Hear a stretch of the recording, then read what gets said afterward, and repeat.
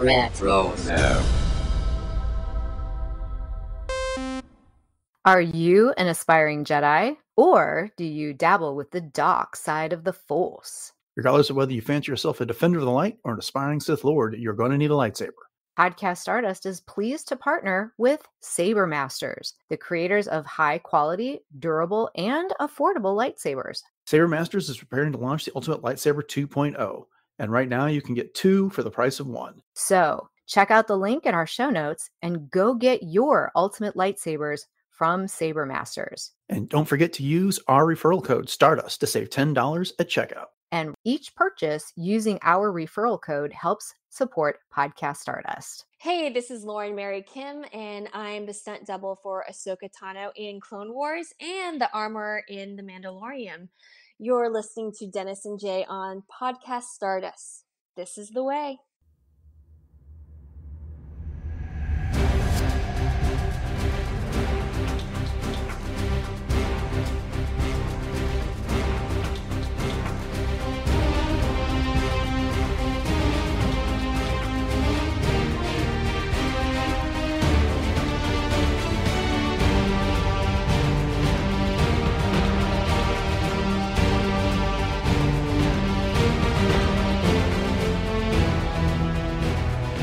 Hello and happy Valentine's Day. Welcome to Podcast Stardust. This is the fully armed and operational podcast dedicated to Star Wars news, reviews, and discussion. I'm Dennis Keithley. And I'm Jay Krebs. And this episode features a discussion of an old Legends novel, The Courtship of Princess Leia by Dave Wolverton. But before we get into that, Jay, where can we be found around the internet? All right. We can be found on Facebook, Instagram, and Twitter, or X these days, at Podcast Stardust. All right, that is the line. The signal's boosted to maximum output. The shield's down, and we are now broadcasting to the galaxy. So let me say it again. Happy Valentine's Day. Happy Valentine's Day, Jay. Got any big plans? No, actually, we do not. So we are very low key for Valentine's Day, and um, but I, I always like to see what everybody else is up to and what other plans people have. So anything on your end that you guys are doing or you have going on? Uh, no, I mean, you know, you and Craig have been married for a long time, and Beth and I have as well. And at this point, Valentine's Day just doesn't have the novelty to it anymore. But that being said, uh, not to mention, it's just hard to get a table anywhere at a restaurant or whatever to celebrate Valentine's Day. So maybe it's this weekend. We'll go out and do something. But at the moment, uh, no big plans. But that's not to say we aren't going to celebrate Valentine's Day a little bit on this show. We are going to be taking a look at The Courtship of Princess Leia by Dave Wolverton. This is a classic Star Wars novel this book was released in April 1994. It doesn't seem like that long. I was thinking maybe in the 90s. That's when I read it for the first time. Do you remember when you read it maybe the first time? Well, mine was a lot later because I know we've had this discussion before about how I kind of went back to a lot of the things in the expanded universe, now Legends, um, way, way after the fact. So I ran across this book actually at a used book fair at our Mhm. fairgrounds and it was already a very well-loved little paperback and I was like, "Oh, the courtship of Princess Leia, what is this?" You know, so so of course I felt like I had to gobble it up because it was Han and Leia. So I think I read it for the first time mid 2000s somewhere in there. Um, but I think I've read it like two or three times since then. So it's it's one of those that I I always love to go back to if not for the story itself, but for the references that it gives us for our Star Wars life these days, if you will. And yeah, indeed. Um, now I'm thinking about it. The first time I read it would have been about 1998. Uh, we just moved to Dallas with my wife, and she found this book and read it before I did. So uh, I ended up picking it up and reading it after her. So we're reading this as kind of a celebration of Valentine's Day. This is not really a romance when it comes down to it, despite the title, The Courtship of Princess Leia. It is a good old fashioned Star Wars action adventure novel that just happens to have a bit of a rom com element behind with Mhm. Princess Leia trying to decide between two different men. Of course, this book is now part of the Legends line. It's not part of our current continuity. And we've got this story replaced by The Princess and the Scoundrel, which we talked about. Was that last year or year before? Yeah. Just last year. Mhm. And so, um, you know, I, I got to tell you, I had a lot of fun reading this. It made me realize how much I enjoyed Legends and how much I kind of missed some of those stories. Not all of them were fantastic, but this I thought was a well thought out story and was a lot of fun and a, a good old fashioned Star Wars adventure. Oh, I agree. And there was also kind of that little campy element to it as well, just because you can tell when it was kind of written, you know, not not necessarily the exact year, but you could just tell by the some of the the ways that things were being phrased that you're like, "Oh yeah, I could see where some of this humor is coming from or, you know, hmm where some of this is." But, you know, and one of the other reasons that we're we were doing this, of course, is because of the whole reappearance of Asajj Ventress and the idea of the Night Sisters and their origins and how they compare and contrast to what we know of the Night Sisters of today. But, you know, there were definitely some things in here that going back and reading it again, I thought to myself, oh my gosh, that is so not like Han. You know what I mean? It is, Yeah. but it's a different is, and that's the reason why it's legends. It's a completely different Han than what we have in canon, and that's okay. You know what I hmm mean? It's it is a different Leia than what we have in canon in a lot of ways, and that's okay. They are their own stories and they are their own element. And so you kind of have to take them at face value when you're looking at things like that. But it, it really is a great adventure when it comes down to it and lays the genetics kind of family tree for the new Jedi Order, which is definitely my favorite era in all of the the legends other than maybe the Thrawn stuff. So, yeah, so it was it was just great to revisit overall. Yeah. You know, the other thing that occurred to me as I was reading this is that, as you pointed, it's it's a different type of Han, but we also get this adventure that features features Han, Luke, and Leia right now, which we just aren't getting in novels right Mhm. now. You know, everything that happened after Return of the Jedi, you have Luke running off on a mission with Lando. And then there's some Han and Leia, but and then some Han and Chewbacca, but we don't really get the big three together anymore in Mhm. novels and stuff like that. And so getting them off on an adventure like this was really pretty cool. And then the other thing that occurred to me is that there just is a tonal difference. And I think this is what you were alluding to between Legends and Star Wars novels that have been coming out today. And honestly, while I think the current books that are coming out are more cohesive as a whole, and a lot of them probably are superior stories, I feel like they kind of this reminds me much more of a George Lucas story than a lot of the other books that we've been getting these days. Doesn't quite have, uh, you know, the, a lot of these novels that we have presently don't quite have the same tone, if that makes any sense. No, it makes total sense. Yes, and and you're right. I mean, it gives you almost a, a different feeling. It's it's um kind of a feel good sort of a thing and hmm and I I find myself just having a smile on my face whenever I read a lot of these legends novels just because of that reason. hmm Yeah, yeah, and there are different, like I said, and I think you know part of that is because we do know that, and especially now we know that like Luke, Han, and Leia really aren't going anywhere. I mean, like they're not in any real danger of not surviving to the end of the book Right. when it comes down to it. Where we know what happens to them now with the sequel trilogy, and you know we know what happens to Chewbacca in Legends and things like that. And then so, uh, you know, so that's a counter argument to what I'm just saying. But still, just getting this adventure and getting you know the big three plus the droids plus Chewbacca doing stuff like that was just a lot of fun to go back to that. Or It, I kept thinking of so many different stories while I was reading this, and it kept reminding me of all these other things. Like, and oh yeah, this character will show up in that other Mhm. book is like you're talking about how it leads into stuff that goes to the new Jedi Order. So, anyways, I had so much fun uh, rereading this. But let's get into the story just a little bit. So, it takes place at eight years after the Battle of Yavin. So that would be what, like four years after Return of the Jedi. Mhm. And Han is still a general in the New Republic, and he's been off kind of on this campaign against uh, the Imperial warlord Zenja. I, you know, it's funny. Up until I heard uh, January LaVoy do the audio version of this book, I just always pronounced that as Zsinj, but they were clearly saying Zinja in the Yeah, or Jinja almost. Yeah. yeah in the audio drama. But he gets back to Coruscant, comes out of hyperspace on the deck of whatever Star Destroyer he was on, and there is this Haven fleet and all these other Star Destroyers in orbit. And he immediately goes into, I may have been a Mon Calamari ship. Anyways, regardless. And immediately goes into evasive maneuvers, only to realize they're not under attack. Instead, the Hapans have shown up it is a matriarchal society run by women and their prince wants to marry Leia, and by doing so, Leia would become the next queen of the Hapan consortium empire. I'm not sure what mm-hmm. to call it. You know, 63 worlds that they have, and they'd be a great ally to the Republic. And Leia's under a certain amount of pressure to do this. Han gets his jealous streak going and goes gambling and wins the world of Dathomir yeah. at the sabacc table essentially kidnaps Leia, takes her off to Dathomir to check out his new world, only to find that it is under Imperial introduction, that Zinja's forces are there.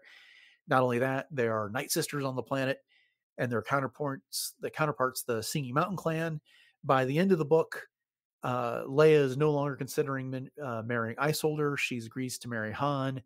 Uh, Isolder finds a new bride in one of the witches of Dathomir, the sisters of the um, uh, Mountain Clan, Singing Mountain Clan, and yeah, everyone heads off on their merry way. So, as you were very, to, very good summary. yeah, did the best I could off the top of my head. Let's just dive into it. Did you have a favorite part of this book, or you know, what's something I hear that immediately draws you to it? Well, I have to say, I remember reading this book for the first time and thinking, you know, how novel of an idea that this matriarchal society was. And yet we had two different matriarchal societies sort of going head to head when it was all said and done between the the Hapans and the Night Sisters. And then the first time I remember not liking Isolder at all. I, I kind of thought, you know, he was sort of this this preemptive kind of you know entitled prince that thought he was just going to step in and do all of this and then i came to realize that he's actually a really nice guy you know and mm-hmm. han was kind of the jerk through this whole thing for the most part and acting sort of you know desperate when it came to winning leia's hand back but i just really appreciated the way that like it all ended up centering about around dathomir you know that that luke was trying to find this records, you know, the, all of these things that Dathomir was such a, a, mystery. And then all of a sudden now Han owns Dathomir and he's going to take Leia there and try to get her to fall back in love with him. Seven days. And then utilizing some of the, the Hapan technology that was what was it, the, the gun of persuasion or something like that, that he essentially stuns Leia and then kidnaps her which eventually actually ends up saving her life, as we find out in the end, because the Queen of Hapes was actually trying to assassinate Leia because she wasn't happy with the fact that Isolder chose her to be the next queen. She didn't want some pacifist republic person in there to like ruin everything for them but um but yeah it was just it was a great little adventure and yet you still got some really saucy kinds of things in there too you know with the with some of these singing mountain clan women uh you know being totally not how do i want to put it they were very open about things let's just put it that right. way not not modest about things and it was all due to the way that their whole hierarchy of their society was and then Han as the king of Corellia was just cracking me up. You know, and the way that that 3PO kind of came out with it and outed him in public and then also made up that little jingle if you will about Han that Leia ends up having what his man. Han Solo little earworm and Leia's like why am I singing this in my head um but yeah I just I, I really just appreciated it as a whole but I really loved how it all ended up with Isolder ending up with Teneniel Djo, you know, and then that uh-huh. that is like the whole the whole thing going forward. I just love that. Yeah. So you gave me a lot there that I want to respond to. Uh, that's okay. The uh, the first one being the Hapans. and what I thought was fascinating about them is that the whole history of their culture was is that they were descended from pirates. Mm-hmm. There was these pirate gangs that settled on uh, you know Hapes, and they would go out and kidnap like the most beautiful women from all the worlds around them and then they would leave and then eventually the women are like hey wait a minute yeah the men keep leaving what do we need them for and so the women you know basically overthrew them but they still had this pirate ancestry in there. And so that's how the women came into being control.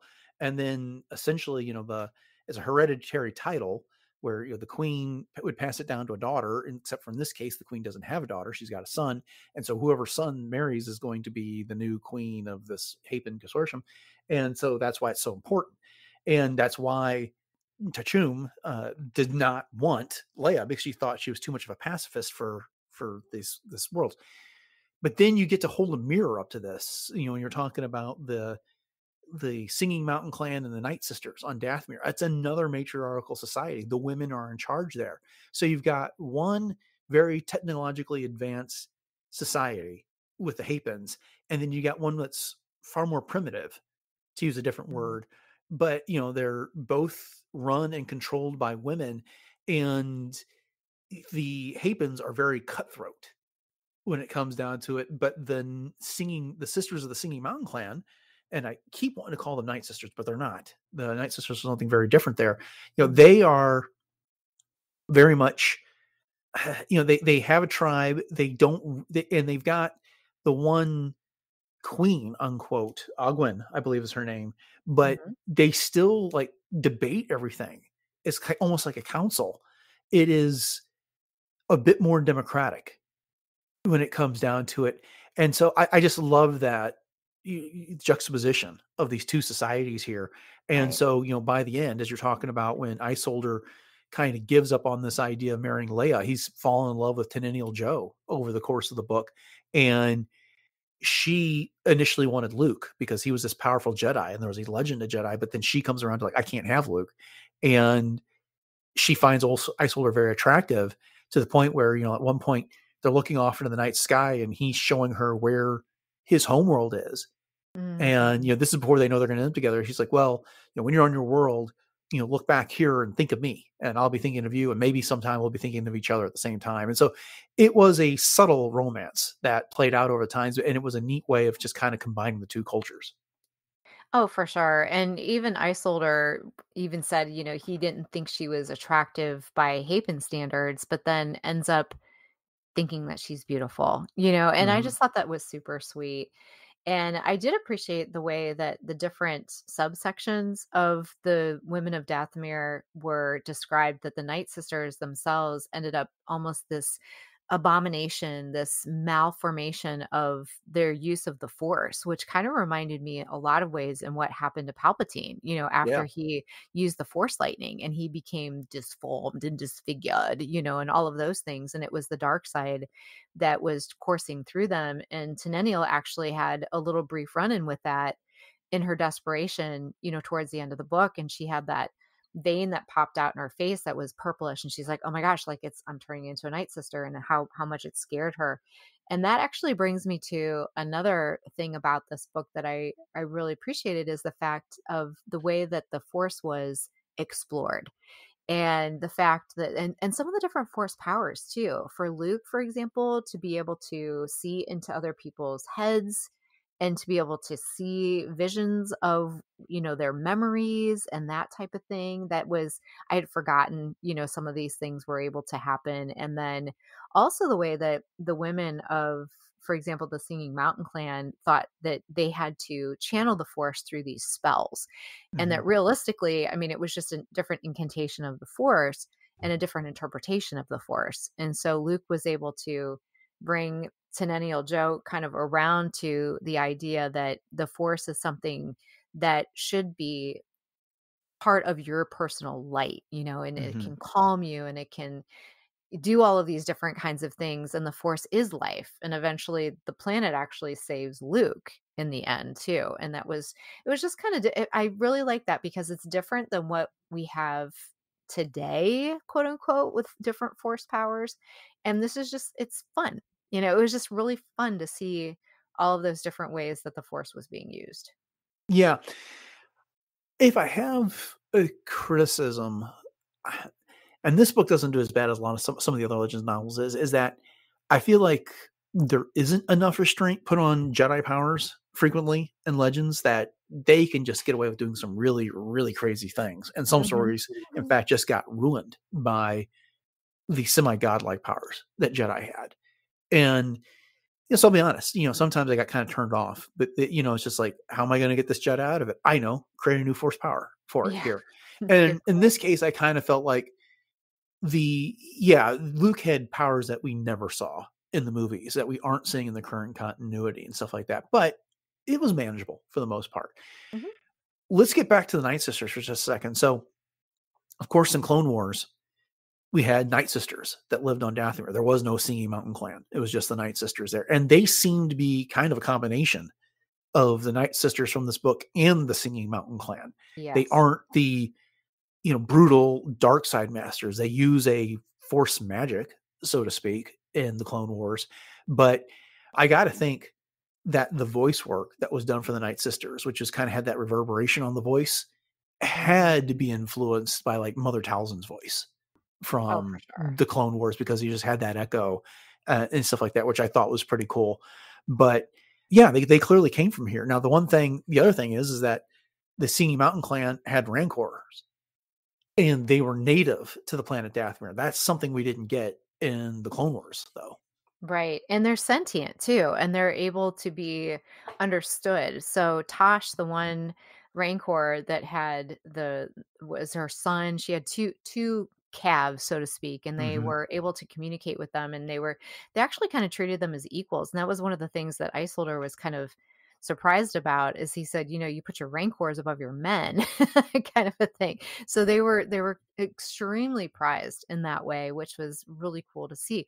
But, you know, to your point about the kind of combination of the Singing Mountain clan with the actual Night Sisters from here is spot on because, you know, we see in the Clone Wars, for example, Asajj Ventress and Mother Talzin and all of those sisters that have the very pale skin and they have like dark darker eyes, you know, and that type of thing, and kind of the bony fingers, but they have these incantation of spells and, like you said, in the magics. But Mhm. yet they were a much more loyal and cohesive band, like a tribe, like the Singing Mountain Clan. So they weren't a bunch of backstabbers. You know, they were always there to support each other and to make sure that, you know, what was good for one Night Sister was good for all. So there was definitely a lot of elements that, you know, as you said, kind of combine these two from from this book to create what we know today as you know the the night sisters of star wars Right. And, you know, the, the Night Sisters and the current continuity are some offshoot of the Zabrak because, you know, that's what Darth Maul was. And, Mhm. uh, you know, uh, Savage Opress and, you know, their men lived in a completely different area than the Night Sisters did. And they would go pick out a mate and put them through all kinds of trials to prove that they are worthy of such an honor to be the champion for, for one stuff like that. So, yeah, some of those uh, concepts were brought over, but then they were modified a little bit. And so that, right so that's pretty cool. But, uh, you know, the other thing here is that we get a lot of uh, backstabbing that's going on, not just between the Hapans and the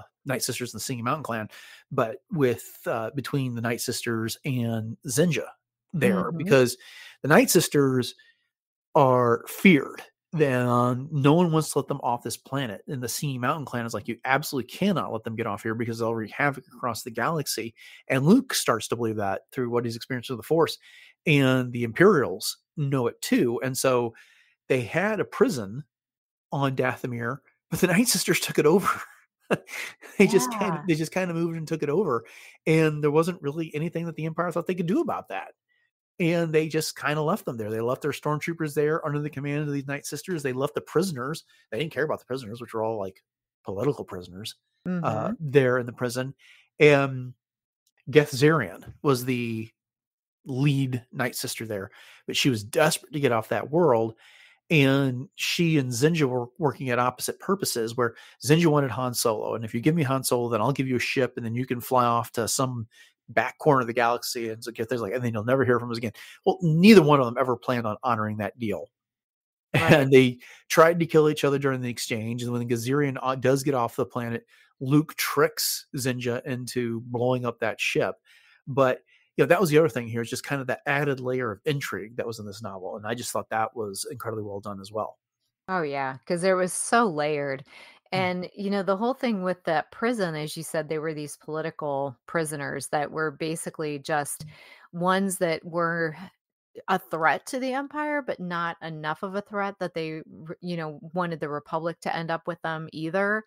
And so I just thought that was really especially the guy that was in the laundromat that Yeah. they came to this this realization that, "Oh my gosh, like, they're just basically forgetting about these people." So I think that was the whole point was that they didn't really care if the Night Sisters took it over because it was almost like, "Okay, we can wash our hands of this now." But one thing and and I I I guess I never really understood this is what the heck did Gith Gethzerion think she was gonna do once she got off Dathomir, and where the heck did she think they were gonna go? Yeah, I don't really know. You know, Zinja just gave them some coordinates and said, "Go there." Yeah. And I think that the idea was, you know, I and I'm not sure why they were so desperate to get off Dathomir. They could have wiped out the Singing Mountain clan had it not been for the interference of Luke and Han and company. Uh, Right. but yeah, but they they wanted to get off, and then they were gonna do something. I don't know. They just want a different world or what the situation is. But there was no way they were going to stay in that corner. They were going to try and build power and conquer because she was power hungry when it came down Right. to it. Right. So I got a question for you here about Leia. What did you think about her and the spot she was put in? You know, because there's clearly been this romance that has existed since the Empire Strike Back, and then at the end we saw it in the Return of the Jedi. It's you know she and Han are really realizing their love for each other. We even get a pseudo "I love you, I know" moment in this book Mhm. later Mhm. in the stages there, but she was willing to choose Isolder in all this and just kind of put her feelings for Han aside. What did you think about all that? Yeah, there was a few things about this that were a little unsettling, but I had to just say, okay, it's just uh, just take it at face value, Jay. It's just a story. Don't get yourself all worked up over it because I really did feel that it was kind of out of character for Leia to be so wishy-washy in this way. Mhm. And it was also kind of out of character for Han to be so complacent and, you know, being the little homemaker, you know, on the ship and trying to make Leia all these dinners and then Leia being just so petty about Yeah. everything.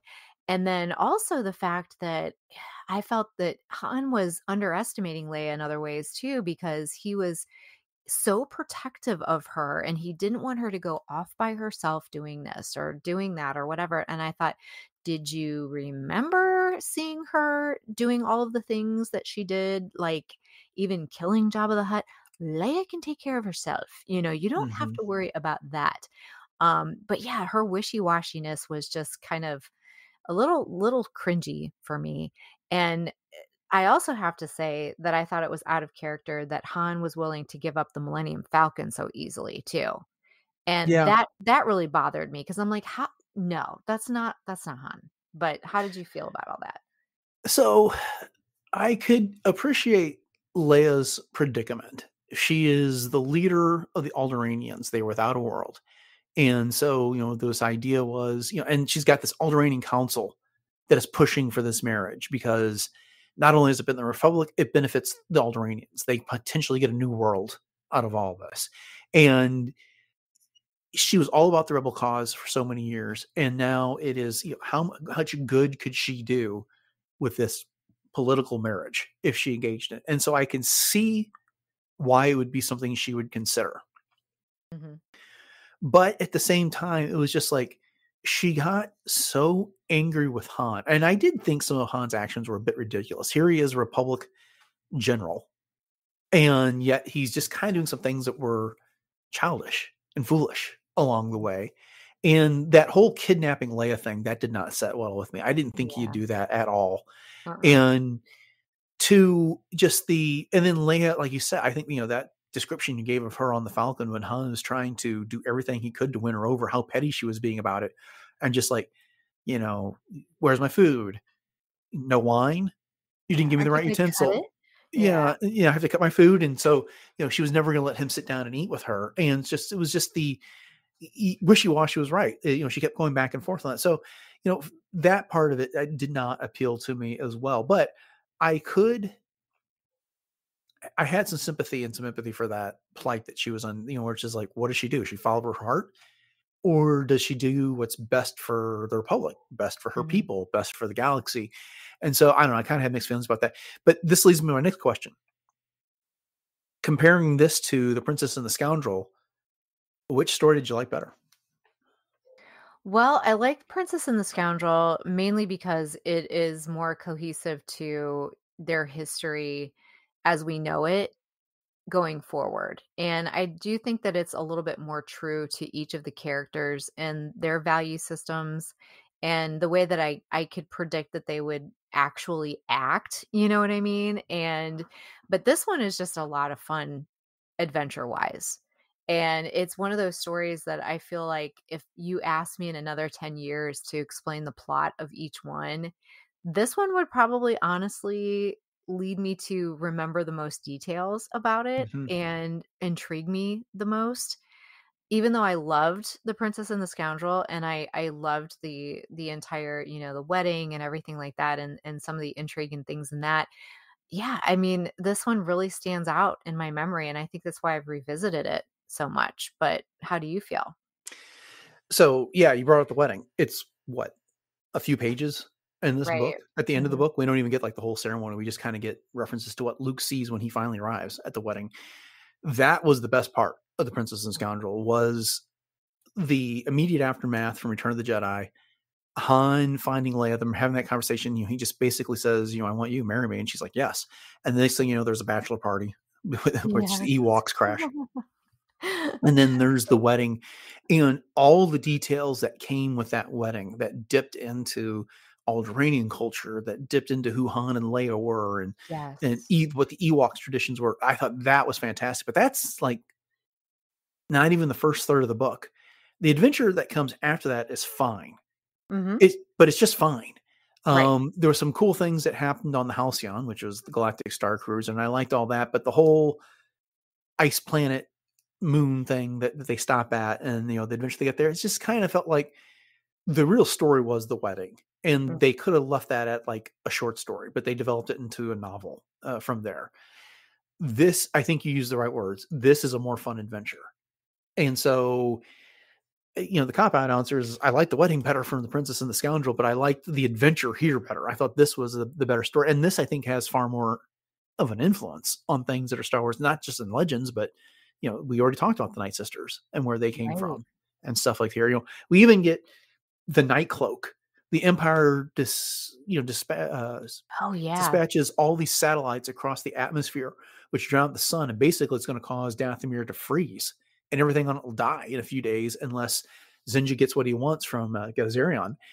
Well, that's like Operation Cinder Tech Mhm. that we've seen in the current continuity Yep. right now, and so this book had a lot more influence than I remembered having. You know, people writing on Rancors. Well, we got to see that with Boba Fett in the book of Boba Fett. So this this story planted a whole bunch of seeds all over the place. Oh yeah, definitely. As as we are right now in Star Wars history, looking back in retrospect, there's so much, you know, that that Mhm. was drawn from this. So, you know, there's always a bit of truth in legends. There was a lot of truth in legends with this one. But you put it perfectly. Wedding better in The Princess and the Scoundrel, story adventure better in this one. Although I think my favorite line is I like the way your pants fit. yeah. That cracked me up. I forgot that line and I literally laughed out loud. I like the way your pants fit because it totally reminded me of when they got back together in the Force Awakens. You know, it, you cut your hair, same jacket, you know, no, new jacket, you know, Yeah. kind of a thing. It's like the same sort of, you know, banter back and forth between them. So that that right there felt like home. You know, just that one little comment was perfect. Yeah. Yeah. What did you think about um, Rel, who was that older witch in the Singing Mountain clan who had met Yoda, but then the first time she laid eyes on Luke and Isolder, it's like, you know, oh, Luke, you're that Jedi that's rebuilt the Jedi Order, and Isolder. you're the one that died here on mm, Dathomir. Yeah. What did you think about her and her like prophecies? Yeah, that was pretty chilling. And I just thought it was really cool because it was kind of bringing back the idea that Luke ended up saying that these are these are only one possibility. You know, that Mhm. that it's kind of what Yoda said with visions when he was talking to Anakin, you know, that be careful when sensing the future. And it's a lot of it is is the past that we take and and the interpretations that we make from that. But um but she was a little creepy in some ways, you know, but then again, it fit very well just with the whole eclectic kind of feel of of this book and the aesthetic that it was setting up with the the Night Sisters and and the Singing Mountain Clan, I should say themselves. Right. You know, the other thing that uh, occurred to me here is that you know this book was written in 1994, and Mhm. the notion of what the Jedi Academy wasn't settled. We didn't have the prequels there. We didn't know that there was a Jedi temple on Coruscant, and that's where they trained their younglings to become Padawans and eventually Jedi Knights and stuff like that. So Mhm. Luke discovers over the course of this is that the Jedi Academy wasn't necessarily one place. The Jedi had the starships, and so their academy was in space and stuff like that, which was an interesting idea, and it's something that the legends kind of was all over the place. On you know, Luke was setting up an academy on Yavin Four, and then he moved that to another world, and you know, then they were constantly getting relocated, and then they tried to, you know, when um Admiral Daala took over the Republic, she tried to exile the Jedi altogether, and you know, so they never couldn't sell anything. And this was a lot of this stuff came up before we had the prequels, and we had an answer to that. But I did think it was interesting that you know he discovers the wreck of this old Jedi ship, and he sees where like lightsabers were being made, and he finds some old files and stuff like that. Well, it seemed like what was the name of the ship that Huyang had, where he would teach the Jedi younglings how to make their lightsabers. Oh yeah, exactly.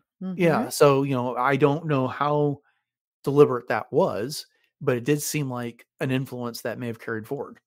Oh yeah, for sure. Oh yeah, I could totally see that. Mhm. So, you know, starting around time, but uh, anything else that stood out to you from this novel that you want to bring up for discussion before we go? Well, again, you know, you were saying how this informed a lot of the things about the future, you know, of the new Jedi Order, and and I I love the the little bit at the end where they go back to Rel, and then and and even Luke then says, "You will have a daughter between Isolder and Ten and Teneniel Djo. You will have a daughter that will be trained by Luke," you know, kind of a thing, and seeing these these things for the future, and it's like, "Oh yeah, this is Tenel Ka," you know, kind of Yeah. thing. Um, and then there was some really fun little kind of humorous things in here too. And you put this in our notes, the whole kiss my Wookie thing. That is hmm so I could see that. That's so Han. And then then Chewie just laughing about it like crazy. Like he's just playing right into that. So I was surprised though at the um amicable relationship between Han and 3PO in this, in that Han was very concerned for 3PO's welfare in a lot of ways, where normally he would just be like, all right, you know, Mr. Professor. Although at one point he calls him Mr. Verbo Brain or something like Yeah. that. When, when 3PO is like, I have these da, da, da kind of brains. He's like, all right, Mr. Verbo Brain. But, anyways, yeah, I'm all over the place on that. But those are just some little quick hits of some things that were in my brain pan at the time. But what about you? Yeah, we've we've hit most of my my thoughts on this. Uh, you know, there's some really um really great action scenes in this book. You know, in the Night Sisters attack, and then the Singing Mountain Clan goes on the counteroffensive there, and you've got the you know some of the witches on the back of the Rancors attacking the the Night Sisters, and the Night Sisters who basically have these stormtroopers as thralls, and they also have the ATSTs, the Scout Walkers, out there, and hmm so the Rancor is going to battle against them. There's some pretty cool action scenes there. It, it was a very very clever book. Uh, I- I'm glad we read it again. This was fun. Uh, you know, this is something that you and I both kind of had to cram into our schedule and get read in a much shorter time than what we usually do when it comes to preparing to have a discussion about a Star Wars novel. But yeah, I'm glad we did it because it, it I did not remember how much I enjoyed this book. I of course remembered reading. I think I'd read it twice before this, but getting through this and just it just like I said earlier, brought back so many fond legends memories there and from this completely different era of Star Wars that's now fallen to the wayside. Uh, you know, that's it's been over 10 years since Legends got, you know, since what's now Legends got set aside. And, you know, it was hard to take back at the time, but now it's just kind of like, oh yeah, these legend stories, they were fun. But I don't think about them nearly as much because we have this like really huge volume of continuity books and novel stuff hmm now. So It's true. It's true. yeah. It was it was great to revisit. A lot of nostalgia. And it it is really kind of a quick read. And the audio version with January LaVoy is a lot of fun. hmm And she does a really great job of doing the the voices and and bringing all of this to life. So I'm I'm glad that that is available to consume in that way as well. Indeed. Indeed. Okay. Well, cool. I'm glad we got to do this. This was a lot of fun. Yeah. Uh, and so was a fun story to read for Valentine's Day. Not the most romantic thing we could have come up with, but hey, it works. So, with that, just want to say thanks for joining us for this episode of Podcast Stardust and a discussion of the courtship of Princess Leia. We hope you enjoyed the episode. And if you want to get our take on lots of other Star Wars books, then make sure you subscribe to Podcast Stardust and you'll get all of our future uh, novel and literary discussions downloaded when they come out. Like to like also like to remind you that you can find all episodes of the podcast over on retrozap.com which is also home to several other great podcasts covering everything from the MCU and DC to Dune, Star Trek, and a whole lot more. We always appreciate your five star ratings and reviews on whatever podcatchers that you use. And we love it when you share the show with uh, your friends on social media. So, with that in mind, Jay, you want to remind everybody what those social media contacts are and where else we can be found around the internet? Oh, yeah. You love us. We know. And you can let us know over on Facebook, Instagram, and X or Twitter at Podcast Stardust. And we do have a bunch of other places that you can connect with us. You can check out our Pinterest boards and our YouTube channel, which does have all of our past episodes. And we are now on YouTube Music as well. So head over to both of those, like and subscribe.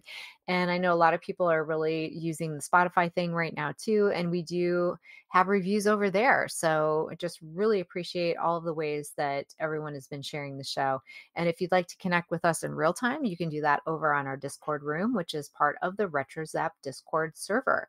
And we also have a TeePublic store, and the link to that is in our show notes. And you can support us by picking up one of seven different podcast Stardust logo designs on everything from apparel to home goods and literally everything in between. And we are now partnering with Saber Masters. So if you are an aspiring Jedi or maybe on the dark side of the Force, you're going to need a lightsaber. And so we are pleased to partner with them. And you can check out all of our different are there different types of lightsabers over on their website which is sabermasters.com and we do have a discount code and all you have to do at checkout is just type in stardust and the link to that will be in our show notes. So with that dennis why don't you go ahead and fill everybody in on some other fun things you've got going on past present and future so, my wife and I are counting down the days to the debut of season five of Discovery, which we'll be covering on our Star Trek podcast, which is known as Warp Trails.